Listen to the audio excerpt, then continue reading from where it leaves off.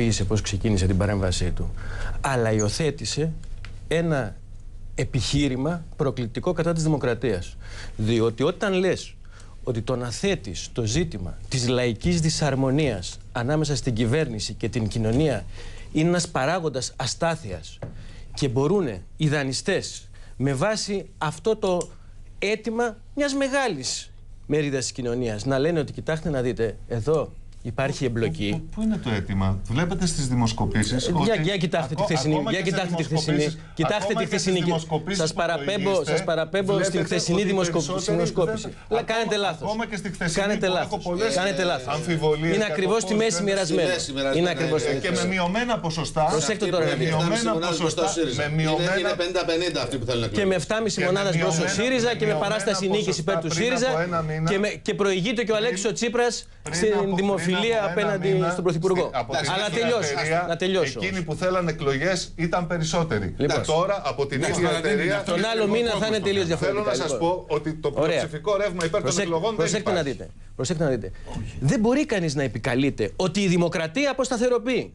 Ο πυρήνας του πολιτικού προβλήματος στην Ελλάδα είναι ακριβώς ότι έχουμε ε, μια κυβέρνηση η, οποία, η οποία δεν είναι αντιπροσωπευτική, η οποία εξαπάτησε τον κόσμο, μίλησε για επαναδιαπραγμάτευση μνημονίου, εφάρμοσε ένα σκληρότερο μνημόνιο και τώρα τι κάνει αυτή τη στιγμή; Διαπιστώνει ότι η στρατηγική του υπάκου μαθητή δεν απέδωσε. Συγγνώμη, όλα αυτά τα ζητήματα τα οποία ακούμε ότι αποτελούν ας πούμε, ε, εμπόδιο στην συνεννόηση μεταξύ Τρόικας και ελληνικής πλευράς. Ασφαλιστικό, ομαδικές απολύσεις, μειώσεις στο δημόσιο, ΦΠΑ. Τα ακούτε για πρώτη φορά; Πόσους μήνες δεν τα έχουμε ακούσει; Πόσους μήνες δεν τα έχουμε ακούσει; Άρα λοιπόν η ΜΕΝ Τρόικα ακολουθεί με έναν ψυχρό τρόπο την εφαρμογή του προγράμματος το οποίο έχει συνομολογήσει, συνομολογήσει η κυβέρνηση, το οποίο το έχει υπερασπιστεί, δεν έχει αμφισβητήσει τη λογική του, τον πυρήνα της πολιτικής του, έχει βγει στην Ευρώπη και μαζί με την κυρία Μέλκερ και ο κ. Σαμαράς είναι οι πιο, οι μεγαλύτεροι υπερασπιστές των ακραίων μνημονιακών πολιτικών και τώρα βλέπει ξαφνικά ότι αυτή η στρατηγική δεν αποδίδει δεν αποδίδει. Εκλυπαρεί για την υπηίκεια, αλλά η υπηίκεια δεν έρχεται. Και συνθλίβεται. Συνθλίβεται ανάμεσα. συνθλίβεται ανάμεσα. Μισό θα σας πω και για μας. Συνθλίβεται ανάμεσα στις δεσμεύσεις της, ναι. στα πιστεύω της, στην ιδεολογία της και την πολιτική της, που είναι το μνημόνιο. Που είναι το μνημόνιο και από την άλλη την πραγματικότητα, την κοινωνική κατακραυγή. Αυτ, αυ, αυτές είναι οι μιλόπετρες που συνθλίβουν σήμερα την κυβέρνηση. Διότι αναιρεί την ανάλυση σας που έλεγε... Δεν την αναιρεί, την, την επιβεβαιώνει. Διότι εμείς λέμε το εξής ότι αν θέλεις πράγματι να πας σε μια άλλη εποχή, αν θες να φύγεις από το μνημόνιο πρέπει να διαθέτεις σχέδιο.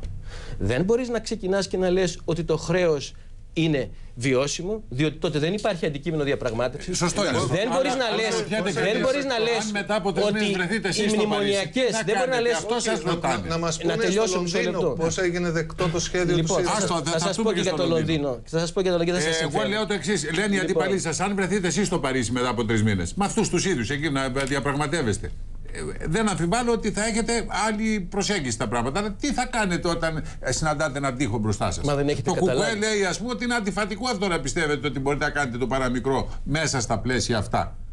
Θα σας πω. Λοιπόν, για να, για να ολοκληρώσω όμως το προηγούμενο. Α, αν σας έβγαλε. Όχι, όχι. Ένα, ένα, ένα, τελευταίο, ένα τελευταίο το οποίο το θεωρώ σημαντικό ε, σε σχέση με το. πέρα από το θέμα της μη βιωσιμότητας του χρέους.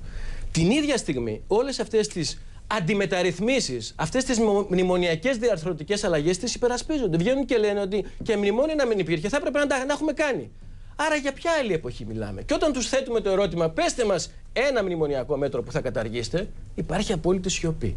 Άρα λοιπόν, πώς θα πάει να διαπραγματευτεί ο μνημονιακός με τον εαυτό του, αυτό είναι το, το πρόβλημα της κυβέρνησης. Δεν μπορεί λοιπόν να είναι αποτελεσματική. Εμείς λοιπόν διαθέτουμε και συγκεκριμένο πρόγραμμα και δεσμεύσεις που μπορεί βέβαια ο κύριος Κυρδίκογλου να μην μπορεί να το κατανοήσει, αλλά για πρώτη φορά υπήρξε ένα εμπεριστατωμένο, κοστολογημένο και μάλιστα κοστολογημένο πρόγραμμα. Στα πλαίσια της Ευρωπαϊκής Ένωσης προφανώς. Στα πλαίσια μάλιστα όχι μόνο της Ευρωπαϊκής Ένωσης, διότι επρόκειτο για ένα, πρόβλημα, για ένα πρόγραμμα το οποίο ήταν άμεσων δεσμεύσεων και μέτρων, αλλά και με βάση την παρούσα οικονομική κατάσταση. Εμείς είπαμε ότι αυτά είναι κάποια πρώτα μέτρα τα οποία μπορούμε με βάση την σημερινή πραγματικότητα της οικονομίας, αλλά κάνοντας διαφορετικές ιεραρχήσεις, βάζοντας μπρος τα συμφέροντα των πολλών, τις βασικές ανάγκες, βάζοντας μπρος την ανάγκη να ανασχετηθεί η ανθρωπιστική κρίση, Ωραία, τώρα τι- να επανακινηθεί λοιπόν, η να οικονομία. σας Είπαμε πω. αυτά μπορούμε να κάνουμε σε ένα πρώτο. Πείτε μου κάτι, κύριε, Σε μια πρώτη κύριε φάση.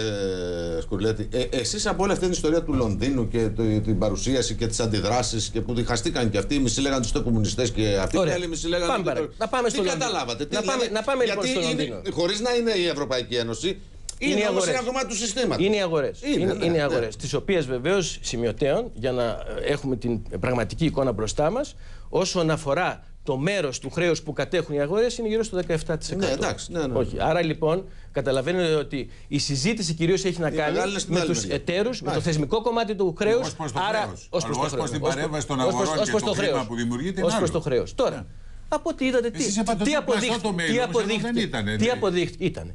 Ήταν κατασκευασμένο.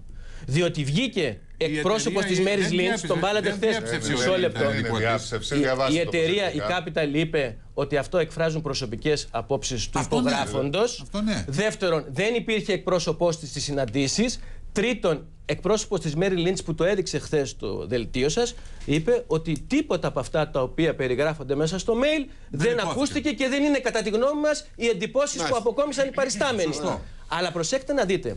Αυτό το mail είναι κατασκευασμένο ως Δηλαδή, προς το εξής. Είναι, είχε σε θετική- απόλυτη, είχε συν- είναι, θετική είναι σε υποδοχή. απόλυτη συνεννόηση με κέντρα της κυβέρνησης και μάλιστα Ωραία. την προηγούμενη μέρα είδαμε πάλι μια κατασκευασμένη είδηση από το Action 24. Εμένα μου αρέσει να λέω τα πράγματα με το όνομά τους, όπου έλεγε ακριβώς τα αντίθετα. Ο κύριος Μιλιός πήγε και είπε ότι δεν θα κάνουμε τίποτα από ό,τι λέμε στην Ελλάδα, θα κάνουμε ό,τι θέλετε εσείς στις αγορές. Αυτό θεωρήθηκε αποκλειστική είδηση. Κατέρευσε και αυτό. Την πιο προηγούμενη μέρα είδαμε ένα άλλο μέσα, το i εφημερίδα, την ηλεκτρονική σελίδα του i εφημερίδα, που ανακάλυπτε γεύματα του Αλέξη του Τσίπρα με την Μαριάννα Λάτση και την κυρία Αγγελοπούλου. Θέλω να πω ότι θα πάμε στις εκλογές με έναν βρώμικο ανορθόδοξο πόλεμο, διότι έχουμε μπει σε μια φάση τέτοια που δεν είχε προηγούμενα γνωρίσει αυτός ο τόπος. Υπάρχουν αυτή τη στιγμή συστήματα τα οποία είναι σε άμεση επικοινωνία με Τι την λέτε τώρα, κυβέρνηση, ότι κάτσαν και που γράψαν ένα παραπληροφορούν. Τώρα, που παραπληροφορούν. Αυτές οι θεωρίες συνωμοσία. Συνο- Εγώ μιλάω με γεγονότα. Ποια Και όποιος- γεγονότα, Είπα ρε, τρία. που λέτε. Και θα σας πω και για τα Για το mail επόμενα. τώρα, ε, ε, λέτε ότι το κατασκευάζει η Νέα Δημοκρατία. Λέω ότι ήταν ένα, ένα mail το οποίο ήταν κατασκευασμένο σύμφωνα με τις ανάγκες της Νέας Δημοκρατίας Το πνεύμα και του με ή το συνεννόηση με περιεχόμενο του, εγχώριους διότι από τραπεζικούς ό,τι κατάλαβα κύκλους. το- Κάνετε ρεπορτάζ, Δηλαδή, το γνωρίζετε. Με Είχε εγχώριους. υποδοχή το πρόγραμμα του ΣΥΡΙΖΑ στο Να, πω- Λονδίνο. να πάμε τώρα λοιπόν και για το πρόγραμμα του ΣΥΡΙΖΑ. Οι αγορές λειτουργούν με βάση το βραχυπρόθεσμο κέρδος τους και το κέρδος των επενδυτών. Δεν είναι ούτε κυβέρνηση, ούτε πολύ περισσότερο δεν είναι κυβέρνηση της αριστεράς.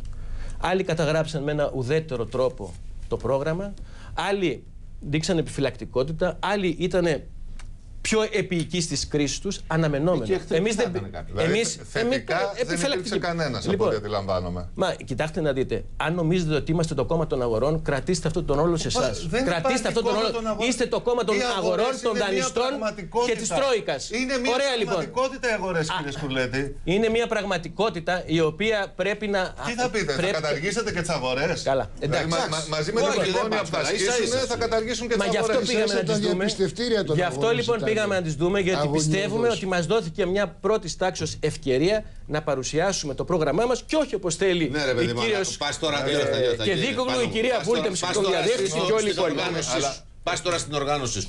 Που σου άλλο σου ρωτάει καλοπροαίρετα. Και όχι, ας πούμε, άλλοι που είναι καλοπροαίρετα. Ναι. Και σου λέει, από αυτό που κατάλαβες εσύ, από τις συζητήσεις και τα λοιπά, τι κατάλαβες.